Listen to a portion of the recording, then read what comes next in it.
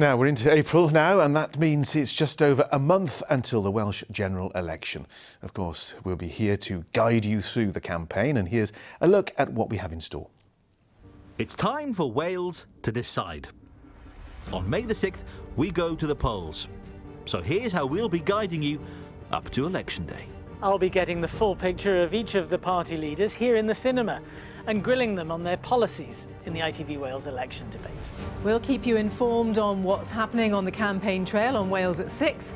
And after the polls close, I'll be here in the studio talking to our reporters at counts across the country. And I've got the best job of all because I'll be travelling across Wales, meeting you, the voters, and speaking to your local candidates to see how they're going to make your and all our lives better. That's all as Wales decides on ITV Cymru Wales.